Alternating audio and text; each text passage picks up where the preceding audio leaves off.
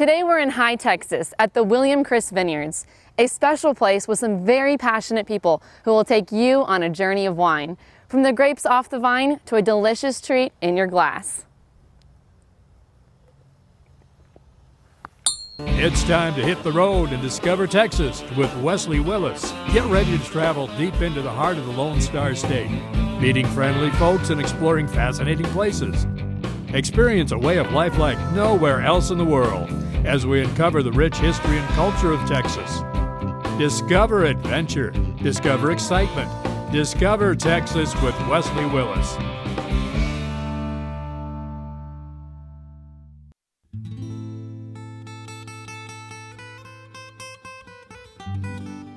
As the sun rises over the green rolling hills, its golden light spills through the canopy of leaves, revealing grapes on the vine, marking the start of the August harvest.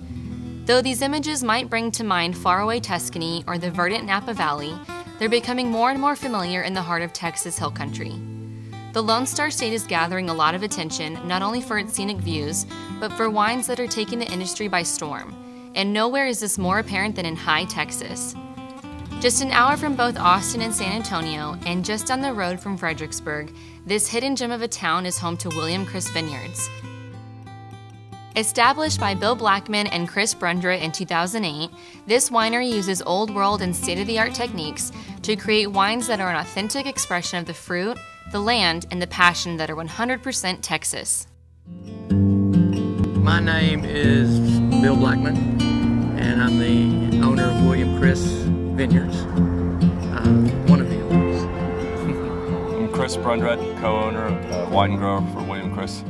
And I'll never forget, we're at this little swanky bar down the street from our house. He looked over and he goes, hey man, aren't you uh, that kid making that hot little Blanc du Bois everybody's talking about? I was like, yeah man, you're, you're Bill Blackmon. We just talked and uh, had a cocktail and... He, uh, he's like, you like vodka? And I said, yeah, I, lo- I like vodka. I love vodka. He goes, me too, let's have a martini. And He was very interested in wine as I was interested in wine. And talked about all the wonderful things about growing grapes in Texas and all the hardships and how we thought that if we had our own place, you know, we could really be growing grapes and making wine in a different way. he became a good friend and then became uh, my partner. You know, I'm just so blessed to be able to get to know that guy. I mean, he's been farming grapes in Texas for over 30 years. He actually coincidentally planted his first vineyard year I was born, so you know, you can't compete with that kind of experience. Yeah, I started growing grapes in 1983 when we were, uh, our family was farming. Just tried to diversify the crop and planted a vineyard, and uh, I guess, as they say, the rest is history. It's been a few years. We try not to think of it too much, too often. Bill and Chris have created something very special here, and the people they brought together genuinely enjoy their work. I was fortunate enough to join them for their Mourvedre harvest. So, you know how that there's that show of worst jobs in America? This is not one of them. The morning was very peaceful and a lot of fun. I could easily spend the whole day here. But I wondered, what drives someone to make a life out of it? For answers, we turned to Luke Hricik, the tasting room manager, and Dee Thompson, director of wine education and experiences. These two men have a deep appreciation for wine, but it wasn't always that way. The first time I tried wine, I don't remember the first time I tasted wine. How old were you? yeah, who knows? I mean, I tasted wine sometime when I was a kid. I don't remember um, hating it. I didn't immediately take to it and get interested in it. My mom let me have a sip of probably like Franzia, you know, White Zinfandel, um, just to see what it was like. A little bit later on, I was in Austin.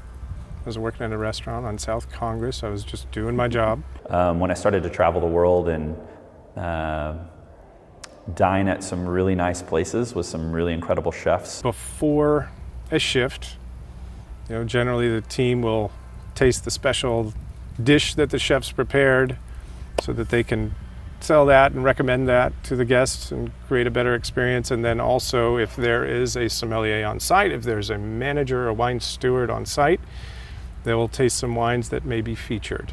Who had great sommeliers pairing wines with food. And I think for me, that I really started to enjoy and appreciate wine in its rightful place, which I think most of the time is with food um, at a meal. And so, really understanding how food and wine uh, interact with one another um, and how we can treat wine like food and food um, can be an integral part of the wine experience. I think was when I really started to understand and appreciate it more. And I tasted a wine, it was a 1997 wine from the Amalfi Coast in Italy. And that is the wine that singularly changed it, turned me on my head. Dang. And uh, I didn't know that it could happen that way. I didn't know, but what it brought out of me, it was it was something that was really evocative of, of memory and great feelings. And through the course of service that night, it kept evolving, and it kind of wouldn't leave me alone. The more I traveled the world, the more I saw wine as a catalyst for bringing people together. Something that, regardless of you know, your background or your political beliefs or what have you, you could all come together, share a meal, share a bottle of wine, and enjoy each other's company. Though Luke and Dee's love of wine has taken them all over the world, they both found themselves drawn to Hye Texas. They were eager to share the experience of the William Chris Vineyards and Winery. We started with Luke, who showed us around the grounds. Our first stop was the Oak Grove. I feel truly blessed and privileged to be able to take 12 years of experience in the world of wine in Napa Valley and Sonoma and apply it here. Here at William Chris Vineyards on our estate, you can come out and enjoy the entire cycle of the vine. You can enjoy the entire cycle of the production of the wine from the soil to the glass. So here you get to experience Texas wine, you get to see it, smell it, taste it, but you also have the ability to get kind of behind the scenes really quickly. We, you know, as a policy, are happy to peel back the curtain and reveal Oz. We're a working production facility. So we grow Texas wine, we make Texas wine. We bottle Texas wine on this facility and we want to share that. We want everyone to be a part of that experience. And is this your only location or? This is our location for experiencing the wines, for presenting the wines. So this estate is a 20 acre property with a little over six acres under vine. We are growing at other locations in the hill country and we're growing up in the high plains and other points in the state of Texas, but 100% of what we do is Texas. Mm-hmm. Yeah, I'm from Texas. I spent the last 12 harvests in California, but I didn't know until I got here really how far this industry has come and what it has to present. I didn't expect that I would find wines of this quality. I didn't expect that I would find this physical beauty as far as the grounds and the estate itself. I didn't know that there were players of this kind of talent in the game here quite yet. Mm-hmm.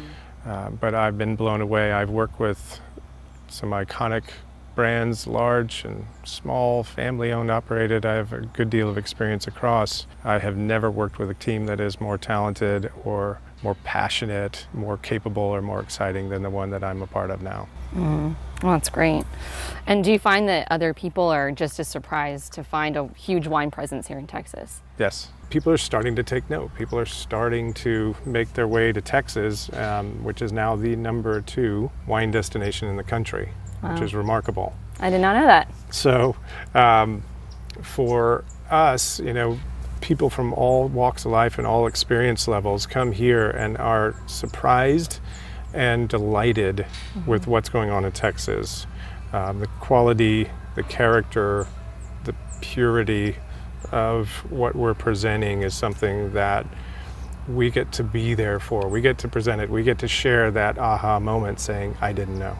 Mm-hmm. Discovery is something that happens here all year round. At this point, the grapevines are on the way to shutting down, to going dormant, to going to sleep. And bless them, they've done the work. And they've produced a really, really beautiful, bountiful, very balanced, great quality crop. So those leaves that are starting to get pretty, pretty fall colors will get more beautiful. And then the leaves will fall, and we will simply have the naked, dormant vines through the winter months. And our focus shifts in the winery from harvesting and processing wine. Our focus will shift to blending, our focus will shift to bottling in that period of time. So there is always something to experience and enjoy here as far as the guest experience. Mm-hmm. So we have a dozen release parties a year when our members come out pick up their wine and for us to properly spoil them for their loyalty and support. Mm-hmm. That's really what it's all about. so thank you so much for, for being a part of us and being a part of our story. At the release party, we'll have a station here for glass and bottle service, and then the band sets up on that trailer. Nice. Yeah. It's a full production here. Just a few yards away is the William Chris Vineyards Pavilion. This combination of covered stage and wide open space is ideal for any celebration. This is a place just to gather, enjoy glasses, enjoy bottles. We will have live music in that opposite corner three days a week. The pairing of music and wine is something that is close to our hearts, mm-hmm. that we're very dedicated to, as well as food. So, yeah, you can't go to a wine bar or a winery without there being some kind of music. Yeah. The newest addition to the estate is the Hye Society Tasting Room. This modern building made of steel and wood not only serves as a welcome center, but also as a hub for wine tastings, food and wine pairings, and educational experiences. Here, guests can spend a relaxing day with friends while letting one of the William Chris ambassadors guide you through a delightful array of styles and varietals. And if you like the way these wines taste, you'll love seeing how they're made. When we come back, we're going to get a tour of the winery with Dee. So stay with us. Hold on to your hat. We'll be right back. The reason I was drawn to William Chris, I think, was kind of two parts. Um, one, I think for me as a born and raised Texan, somebody who cares a lot about our state being respected in the larger wine conversation globally, um, is the fact that Chris and Bill have been since the beginning dedicated to producing all of their wines uh, from 100% Texas grapes. And that for me when you see Texas on a label, that you can actually believe that it means that 100% of our product was grown here and produced here. So I care about that because I want our state to be respected, and I think it, in order for our wine to be respected, in order to support Texas farmers and the Texas wine industry, um, that I want to be a part of a company that's doing that. So it, it's, I think, secondly, um, the wine's good. You know, I, I've been able to travel to 35 plus countries the world over. I drink a lot of different styles of wine. Um, and I think the wines that we're making taste good and are a quality expression of where they're grown and how they're produced. When it comes to the harvest, weather and timing are key. The acidity, sugar content, and flavor profiles of the finished wine are heavily dependent on them. Once the grapes are harvested, turning them into a quality wine takes a lot of thought, skill, and time. That process begins here. So, this is what's called our crush pad. The first step in the winemaking process is called crush. Crush is really just the opening up of the individual berries. So they'll come in here in these um, big bins that you see. Those bins will get pulled off of a truck and it gets processed out here on the crush pad. A lot of times we're going to put it through a destemmer and that makes sure to take the stems away from the berries, the individual berries. So the technical term for this is grape must. So they call it must at this point. The grapes are going to go likely back in a bin or into a larger tank container. It just depends on one, the availability of the different uh, storage devices, and two, what style of wine we're trying to make. Real key distinction in winemaking, right? For white wine, the skins generally do not sit with the juice during fermentation. Um, that's actually the key uh, difference in white wine making and red wine making is that the skins for re- during red wine making the skins are going to sit on the juice during fermentation. And that transfers all that color. So you actually could make a white wine from red grapes if you didn't leave the skins on the juice these vessels are going through active fermentation right now. Oh my gosh, you can like smell it immediately. So you got to be careful when you pull it back not to stick your face in the bin uh, because it's producing carbon dioxide as a product of fermentation in addition to alcohol, right? So sugar processed by the yeast becomes alcohol and CO2, and that CO2 is odorless and it can kill you. So um, um, it, it, can be dangerous. You got to be careful. Um, but right now, we're looking into the bin. You can see the skins and the seeds and a little bit of the stems on top. you want to have this um, skin transfer all the color and the flavor and some of the, the texture and tannin into the juice itself. So during fermentation, the skins will stay with the juice. And well, how long are they sitting there for? Um, it depends on the style of wine you're making and, the, and varietal. So that, that's the other thing is like we work with so many different kinds of grapes, uh, making so many different styles of wine. For us, it really depends anywhere from a few days to a few weeks. For one particular wine, we might even do a certain percent short maceration or short skin contact. And we might do, uh, let's say, like 30% of the lot. And then the other 70% we might do for extended maceration. And then we will blend the two together. And really you have to think about it almost like a spice cabinet in the kitchen with a chef you're, or an artist with their color palette, right? You get all of these different components that when you make the final blend, even though it might be a single vineyard, single varietal wine, meaning it might be Sangiovese from the Clink Vineyard, um, we might have done four or five different components to make that one single vineyard, single varietal wine. Um, but it allows the winemaking team to have blending components to make the perfect wine. And so some longer skin maceration, some might be uh, aged in concrete versus aged in stainless steel. Some might see new oak versus neutral oak during the aging process. Um, we might even use some of our, our foeders, um, which are these really large oak containers that you see upstairs in our barrel room.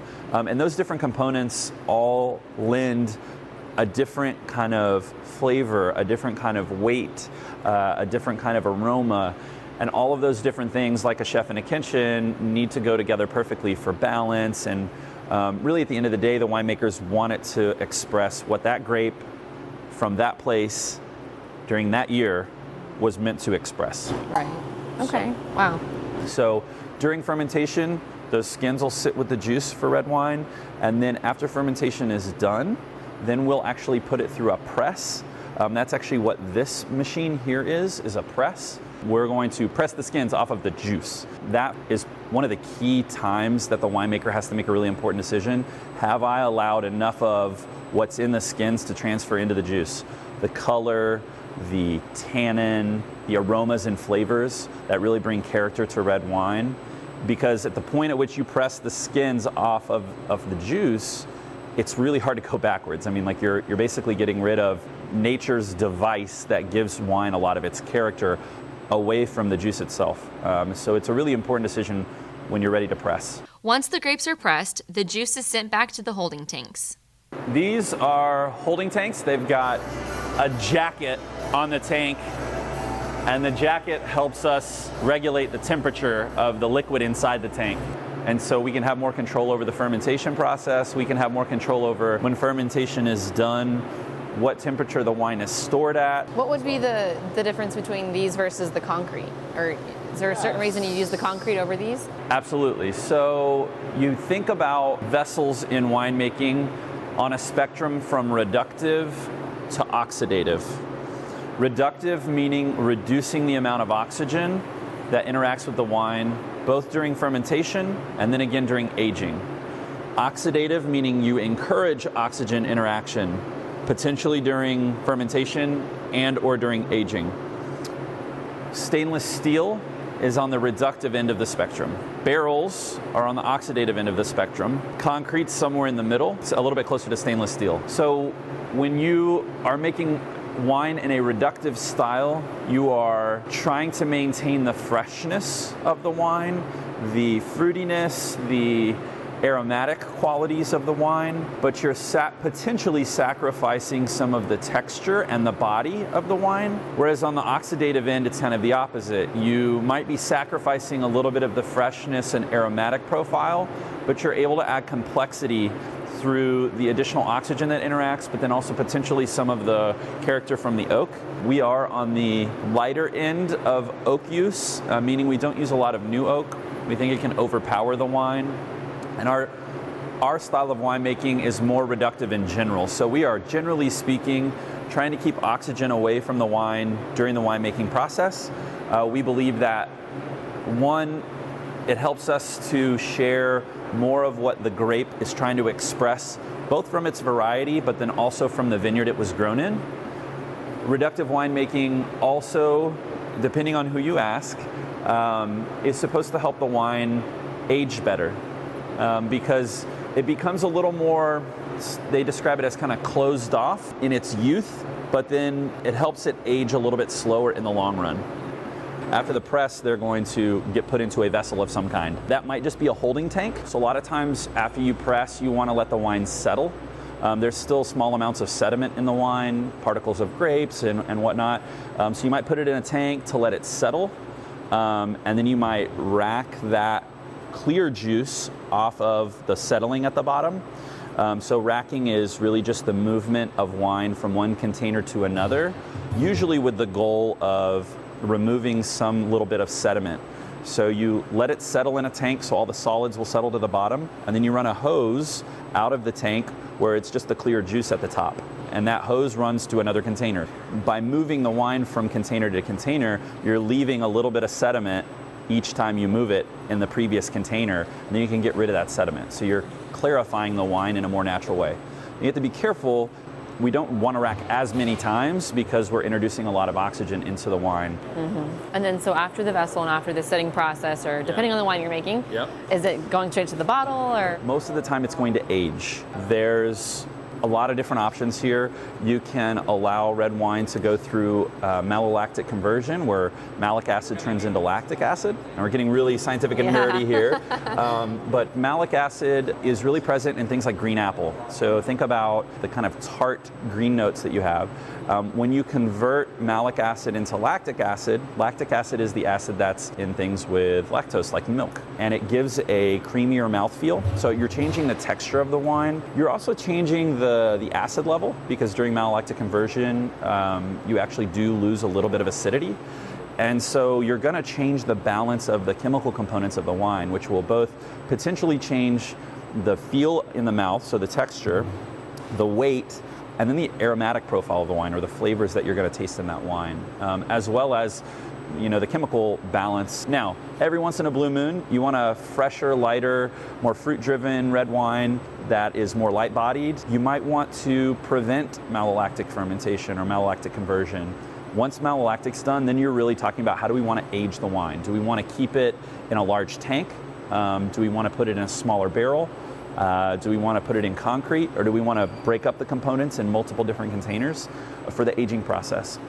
Most of the time for our wines, we're aging red wine before bottling anywhere between 16 and 22 months. Um, oh, wow. So you have to think like over a year before it's ever going to go into the bottle. Um, and again, a lot of that means sitting, waiting, and then tasting. So our winemaking team and our leadership team does a lot of work, uh, not during harvest, so not during this time of year, um, but other times of the year, going through and tasting barrels and lots of wine to understand where they are in the process. When we return, we'll get to see the fruits of their labor. Stay tuned. Hold on to your hat. We'll be right back. Every bottle of wine at William Chris Vineyards is carefully crafted to express the best Texas has to offer. Dee and I returned to the tasting room where he showed me a few standouts. The 2017 Hunter from the Texas High Plains is probably our wine club's favorite wine. It is the only wine you'll ever see this red capsule on. So anytime our members see this released for the new year, people start leaving here with cases of it at a time, um, just because it's such a good wine. Uh, this is more in the style of the Right Bank Bordeaux wines, which are mostly Merlot. So this is 76% Merlot, 24% Malbec, um, which is another Bordeaux varietal. Um, really full-bodied, very rich fruited. You do get a very obvious oak profile on this, so you also get a little bit of baking spice aromas and flavors is tell people this is like what you want with your holiday roast. I mean, you want a, a big, delicious, well spiced piece of meat, but this wine stands on its own just fine. It's a very approachable big red wine, not a punch you in the face red wine, but more a warm blanket in the winter kind of red wine. This is our 2018 sparkling rosé, our Pétillant Naturel, or Pet Nat for short. We've been producing the Pet Nat style of sparkling wine since 2014. I believe we were the first in Texas to produce that style of wine. Pet Nat, or the ancestral method, is a winemaking technique that predates champagne. So it's an older sparkling wine production method than the champagne method is. Uh, it was created by monks back in the day on accident. Um, but we purposely bottle the wine before it's done fermenting uh, in the first fermentation, and we put a crown cap on it. And what that does is the wine's going to continue to ferment in the bottle, giving off that carbon dioxide we talked about, but instead of the carbon dioxide being released into the air, it gets trapped inside the wine creating the carbonation, creating the bubbles. Chris Brundrett, one of our owners, likes to talk about this wine as a wine you have a relationship with. That we release it in late February, early March, while it's still got a pretty significant amount of residual sugar in it. Um, but because um, it hasn't been filtered, it's going to continue to ferment. And so when you first meet it, kind of like when you first meet a person, a lot of times it's much sweeter. And then over time, as you get to know them better, less and less sweet, a little more and a little more real. Um, and so eventually, this will completely ferment out and it'll be a completely dry uh, sparkling rosé. Um, so it's changed pretty significantly since release, even to today. And with that one, once it's been opened, uh-huh. is how good does it last? You know, I mean, I mean, you need to drink this within like the first hour that you open it. Most sparkling wine you're going to want to consume pretty quickly. Yeah. Pairs really great with any berries. Um, so thinking like in our food and wine pairing, we actually do uh, fresh seasonal berries like raspberries, blueberries, blackberries tossed in lemon juice and then drizzled with some creme fraiche. Also goes good with any kind of creamy desserts because the acid in the wine and the carbonation cut through the creaminess of things like cheesecake. Honestly, though, this needs to be your Thanksgiving wine. A lot of people don't realize that rosé is actually the best fit for what is a very diverse table, a lot of different flavors, a lot of different styles of preparation. And rosé should be the lead wine um, because it's so versatile. It can go with so many different things. Noted. Enchanté, um, Enchanté has uh, a pretty significant history behind it. You know, in French uh, means nice to meet you. So this was the first wine that Bill or William and Chris ever made together. It is a Bordeaux blend, Cabernet Sauvignon, Merlot, and Petit Verdot. Um, so very much in a left bank Bordeaux style. Chris and Bill wanted to make a wine together that commemorated them coming together as two separate winemakers in two separate places and to kick off the business and say, hey, this is our gift to the people that are going to drink our wine. And so this is this the is very a, first one they did together. Exactly. So this is the 2017 vintage of that wine. Uh, it's a wine that we make every year. Um, also a cult favorite, similar to the Hunter for our wine club. So these two wines are really, really popular. Um, they're a little bit more full-bodied than a lot of our wines. Um, you know, this particular one, uh, all the grapes are coming from the Texas Hill Country. Um, so it's unique in that the Hunter, mm, um, the grapes are coming from the Texas High Plains, and these are coming from the Texas Hill Country. And really shows a, a fuller bodied wine that's age worthy, that does have um, some obvious oak character to it, and is going to age really well. And what does this pair well with? So this, I'm going to go a little more traditional um, when you're thinking about um, bigger proteins, things like steak, things like your your holiday roast, your ham. But I wouldn't also be afraid to put some nice fruit-based drizzles on those things, the gastriques and the dipping sauces. And but you want to stay on the darker berried side, so things with like blackberry and blueberry, um, black currant. It's also good go good with a cheese platter. I always think red wine and cheese has been a pair for a very long time, and we don't really need to mess with that. And so we arrive at the end of our story, where all the different components and decisions come together to create a wide selection of styles and varietals for your enjoyment. The wine that was made here will be ready in two years. That's a perfect reason for me to come back. For a full list of what William Chris has to offer, visit their website at www.williamchriswines.com. We'll leave you now with the word from Dee. Hopefully you've been able to see the beauty of our property, the exciting things that are happening in our winemaking facility, our beautiful tasting rooms, and it's all great to look at on a screen, but until you're actually here, standing in the vineyard, drinking the wine in the place that it was grown, on the property where it was produced, you don't really get the full experience. And for us, we want to share a piece of our world with everybody. And so we really hope folks will take the time to come out to Hye Texas. We're about an hour from San Antonio, an hour from Austin, um, driving distance from really anywhere in the state, um, to come experience our wine on our property so that we can share a piece of our world with them. A huge thank you to everybody here at the William Chris Vineyards for sharing a piece of their world with us. And if you're ever in Hye Texas, be sure to stop here at the William Chris Vineyards to experience everything they have to offer. I'm Wesley Willis, and you're watching Discover Texas. Thanks for watching. I hope you really enjoyed the show. And if you did, be sure to click the like button, share our content, and subscribe to our channel. And while you're at it, check out our Discover Texas Facebook page.